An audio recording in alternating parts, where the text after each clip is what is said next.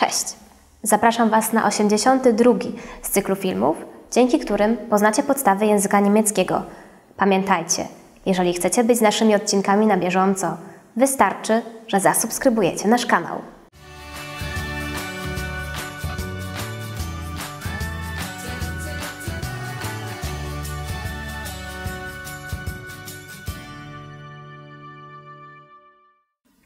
W ostatnim odcinku zajmowaliśmy się tematem mieszkania, a dziś powiemy sobie wszystko, co jest związane z pieniędzmi.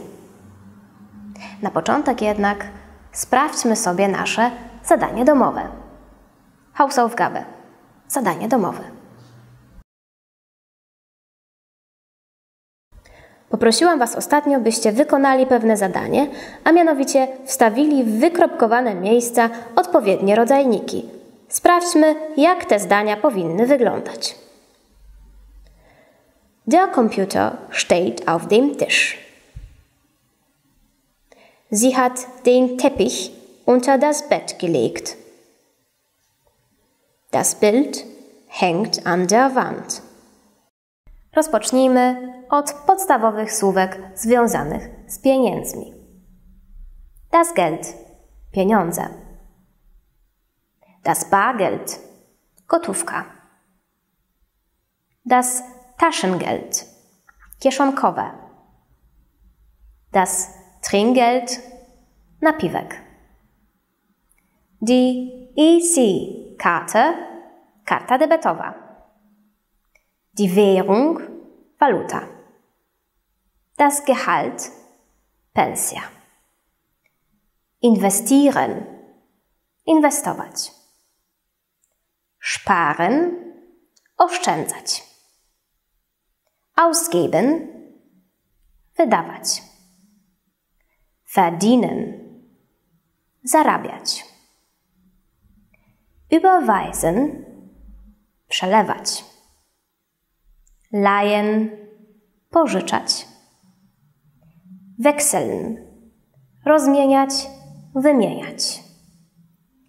Die Wechselstube kantor wymiany walut.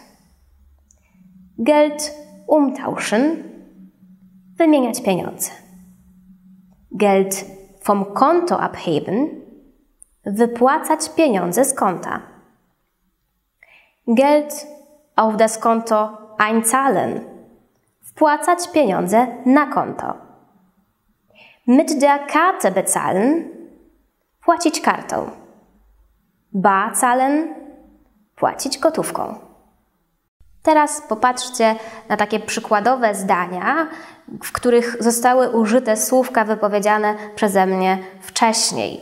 Niektóre z nich przydadzą się Wam na przykład w kantorze. Ich zahle meistens mit einer EC-Karte. Ja płacę zazwyczaj kartą. Wenn ich Bargeld brauche, hole ich es mir am Bankautomaten. Kiedy potrzebuję gotówki, wyciągam ją sobie z bankomatu. Ich bezahle immer in bar. Ja płacę zawsze gotówką. Überweisungen mache ich per Internet. Przelewy robię przez internet. Du solltest in der Wechselstube Geld wechseln. Ty powinieneś wymienić pieniądze w kantorze. Ich möchte Zloty in Euro wechseln. Ja chciałbym wymienić złote na euro. Ist der Wechselkurs günstig? Czy kurs jest korzystny? Teraz pora na zadanie domowe.